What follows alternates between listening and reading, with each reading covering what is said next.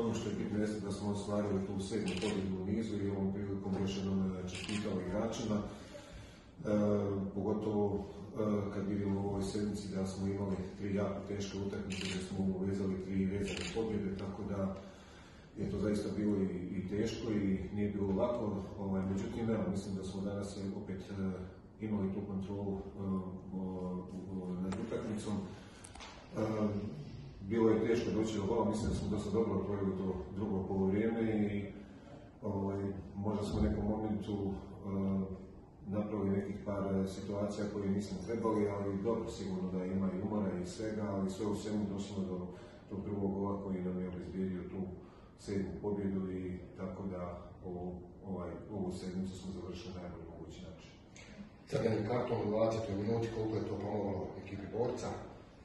Pa dobro, gledajte, sigurno da je bilo lakše, ovaj, ali isto tako i teže jer jednostavno i protivnik je onda uh, spustio se malo niže, tako da je bilo i tu veoma teško tu doći do, do situacije za postizanje gola, ali sve u svemu da smo tu na najbolji mogući način